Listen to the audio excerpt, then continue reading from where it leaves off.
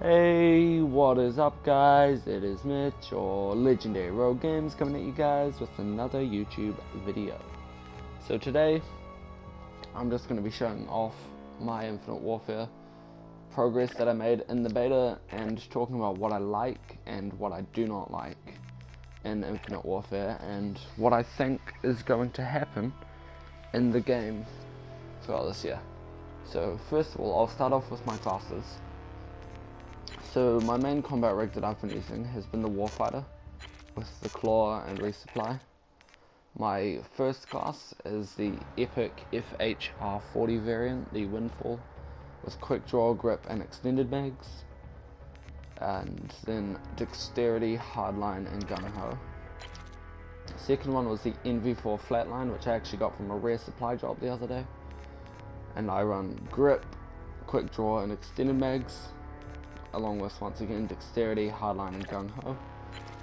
Next one is the KBR 32 Horde, which is the legendary variant with extended mags, foregrip and quick draw, which seems to be my main class. And then I have dexterity, hardline and momentum and pinpoint. Then I have my KBS longbow with thermal sight quick draw and suppressor and the only unshakable secondary. Should probably change that. Then I have dexterity hardline cold-blooded and marksman. Then my last class is the KBS longbow mirage elo sight quick draw FMJ suppressor the only secondary. Dexterity hardline and marksman. So those are my five classes and my top most used rig. I got to level 31 and I just in my last game unlocked the Volk gun so I might play a bit more and try and get a good gameplay with this Volk at level 1. But yeah, I've used all of these uh, assault rifles and I, in my personal opinion, the KB, AR and the NV4 and the Type 2 are all amazing guns. I have not yet used the Volk though. In the SMG category, I absolutely love the RPR and the FHR40. I didn't really use the LMGs in this game. As you can see, level 3, level 2, not very good. Sniper rifles, absolutely loves the KBS longbow. Uh, I used the EBR a little bit, and the Widowmaker I started using, but then went back to the KBS.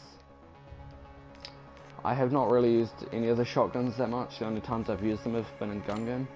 And obviously nobody's really used classic weapons, so yeah. So yeah, I made it to level 31. But what I really wanted to talk about in this was what I reckon is going to happen with this game. And in my opinion, what they need to do to keep this game alive throughout the whole year is keep the supply drops only earned through keys and have no form of currency that can be bought and also, if they do add weapons into supply drops, like new weapons, they should also add them into the prototype lab, where you can build them for, say, the same as a legend, uh, an epic variant.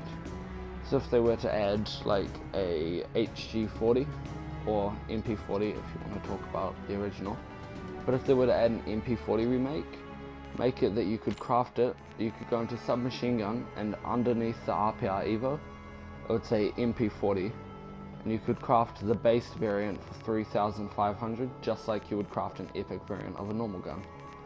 Because something like that would be nice because then you'd save up to buy either the basic gun or you could get it in a supply drop which wouldn't be able to be bought. And that would keep the game alive as well as giving us new weapons and in a way that people wouldn't be so angry at Infinity Ward about. But that's probably not likely Another thing that is going to be great in this game is having the different weapon teams, M weapon teams, mission teams. I've got my JTF Wolverines to level 30 and the Orion Initiative to level 18. And it's quite a cool idea that they have the mission team depot. That's how I unlocked the uh, FHR 40 Windfall. But this is quite a good idea because it allows people to get epic variants and all you have to do is grind the game you don't have to open supply drops to get these and I think that will really please a lot of people and if the other two mission teams have some good weapons, then we could be in for a treat. And looking at this, I believe that the other two mission teams will probably have, I believe, the Volk will be belonging to one of the mission teams, I believe. And then maybe the, um, which one was it? Give me a second. I don't know all the guns yet. And then the, no. As I can say, oh, the Widowmaker. The Volk and the Widowmaker possibly. Because those guns, we haven't actually seen any variants for them unlocked yet. We can't go into sniper rifles and buy a Widowmaker variant, and we can't go into assault rifles and buy a Volk variant, which leads me to believe that they may be in here, because if you go back to this, there is no FHR 40 and there is no Karma 45 variants unlockable in this. But yeah, one of the main things in this game, and I'm going to go into a game and show you guys this, sniping is really good. Like, whether you, whatever sight you're using, just quick scoping in general is really good and really fun. And that makes me really happy because in Black Ops 3 I absolutely hated how the snipers work. And even though I used the use them quite a lot in Black Ops 2, I still incredibly dislike how they work. And I think that it'll be really nice to have a game where snipers are actually at an advantage. I also quite like in Infinite Warfare that they have this loading and cutscene. So after this, they get you to prepare for battle. Yay! Let's drop! And if this loads, yeah, of course, that's a problem. But yeah, they have that starting and cutscene.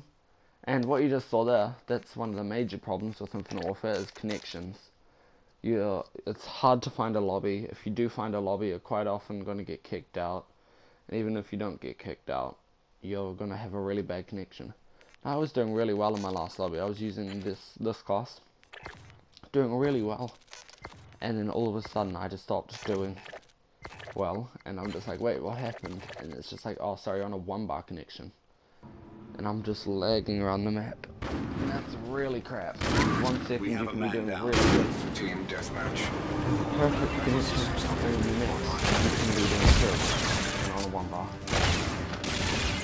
Yeah, so what I'm going to be doing is going to be sniping through it because I do have a ELO sight on the KBS Longbow sniping video and in that you guys don't really get to see quick scoping as such. I kind of stuck back and just watched and hard scoped a little bit. And I don't think that that's like a good but the reason I put it up was just to show you guys that even with the ELO sight, which is a sight that I usually despise on sniper rifles, I did quite well. And that just shows you how good the sniper rifles are in this game. Like that, that crazy turn on, I would never have gone something like that in Black Ops 3. Like, I literally, the aim assist on sniper rifles is so helpful. It feels, to me at least, it feels a lot like Black Ops 2 sniping. Yeah, but you run into a lot of snipers. So quite a common thing to do in this game Which is good because I really love snipers. And even on console, where sniping is sometimes the uh, sniping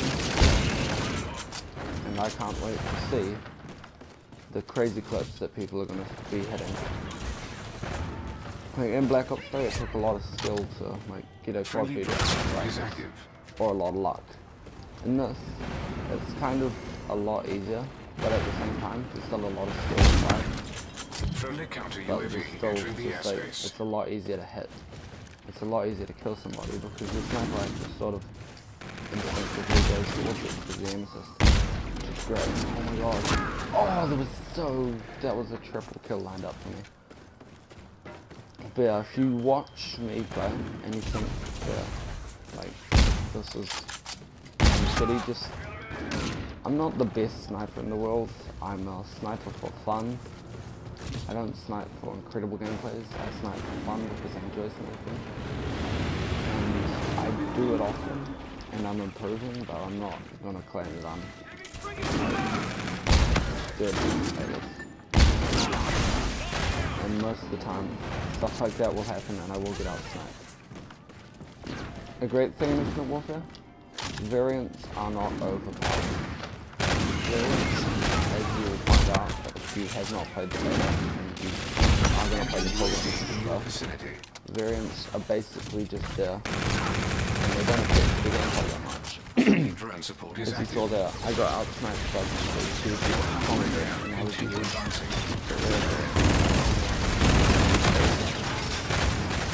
I got out sniped and I'm using a way better variant. Like the you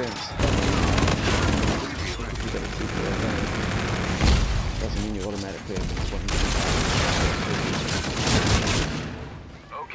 Tasking UAV. That's the last time. One of the worst things about this, though, is and these things need to be nerfed. You earn them pretty quick, especially if somebody has the uh, perk that allows you to start specialist cooldown. Oh wow, somebody's using the Ragnar. Um, especially if well, someone on your team is using that perk, you will earn your specialist so fast and so good for the speed at which you earn them and they stay around for so long. I was in a game the other day and I got killed by one guy and he was using specialist and I'm just like, yeah, that's cool. Then I spawn in and he kills me again. And I spawn in and he kills me again. Three times, the same guy with the specialist. All three kills with the specialist. Every time I spawned in because it's incredible how long they last and how fast. I really just think the Infinity Ward needs to tone them down a bit. But like, I mean, apart from that, they're really good and they're quite helpful. And they make another, they make a new layer of the gameplay. It's just like Black Ops 3. Specialists are still quite new, and they're still quite interesting to use and interesting to get used to. And just the variety, and probably adds, and in my opinion, definitely that's a lot of replay value to the game. And I think this game will be a game where a lot of people will grind it because of specialists and all the different things you can do with customization. A lot of people have talked about this, but the camos in this game, it's kind of, you like them or you don't like them. There's no like real in between at the moment. It seems people either really like them or really dislike them. And I think that's like kind of a good thing, but kind of a bad thing if you like the camos, then it's good for you. But if you don't like the camos, then it's more than likely that Infinity Ward are going to be changing the camos from the beta. At the moment, they really remind me, and I was talking about the this of the Black Ops 2 camos. And if you look at the stud camo on guns, it really does remind me a lot of the Black Ops 2 Diamond camo. But if, and if you look at the ones that you unlock throughout the multiplayer, you don't really get that great oh, of camos. Like this is the Mars camo. I don't remember the exact challenge you have to do It's probably something along the lines of one shot, one kill. Like it's a good camo, but it's nothing compared to the ones that you earn from from leveling up your mission team, or ones you get from supply drops. And that's good because to be honest, the these promotion don't want to they don't want to be using the unlocking multiplayer unless it's something that's over done. To be honest, most people prefer to use But yeah, that was a sniping gameplay for you guys, and a commentary at the same time. So, I only went 16 and 15, which isn't that great, but I mean, I was talking at the same time, and I tend to lose concentration when I'm talking, and I missed a few shots that I really shouldn't have missed. But yeah, I think that should about cover it for my thoughts on Infinite Warfare. I think that the game will last the whole year, and I think that if it doesn't, then people are still going to be playing Modern Warfare Remastered by the end of the year. And if you ever want to stop playing Infinite Warfare and you're getting a bit bored of it, you can swap over to Modern Warfare Remastered and then come you back and break, so no harm done. We are open for business. But yeah, I think that should be it. Thank you guys for watching. My name is Mitch, or Legendary Rogue Games. Thank you guys for watching. I will see you guys in the next video. Later.